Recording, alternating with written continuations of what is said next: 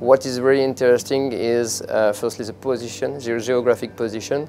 So we can import uh, materials with boats and we can export cement with boats and we have the quarry just near the sea.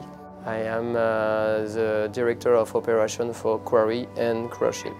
My main goal is to bring the limestone from the quarry to transform it uh, in order to produce cement after that.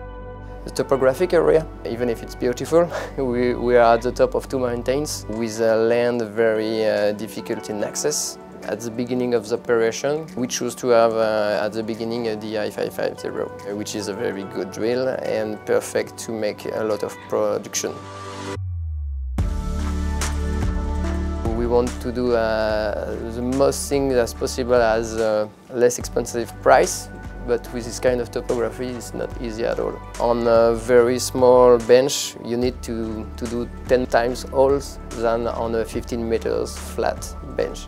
So uh, you can imagine the need of uh, drilling induced by this topography as well as the earthworks needed to go with our drill uh, on those sites.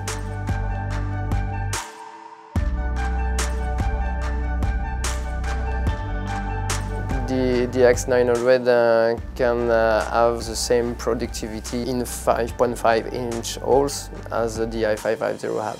Of course, the i550 can go in 6.5 uh, inches holes, which is what we are trying to do the most of the times when we have 15 meters benches. But uh, when we are in very difficult area, uh, we cannot go with this machine or it needs a lot of works. The DX900. We can make uh, quite big holes with that and uh, we can go uh, in such lands with uh, easy facility. Uh, less earthwork to prepare the field uh, than for the D550 so it was less time of preparation for our shovel and it was finally cheapest to, to go with this, this drill on the, on the site. It was a, a, great pleasure and a great surprise also, because it was not uh, in our consideration to look uh, closer about this kind of drill before that.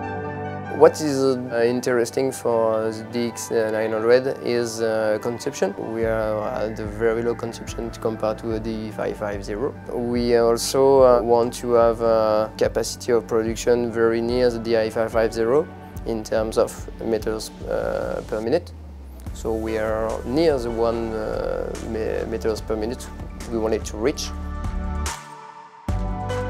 I like the swivel too, so you're less moving to drill the holes and it's uh, faster for the production. In 20 years, that's the best top hammer I ever drilled with. That's the best one you could buy for the limestone.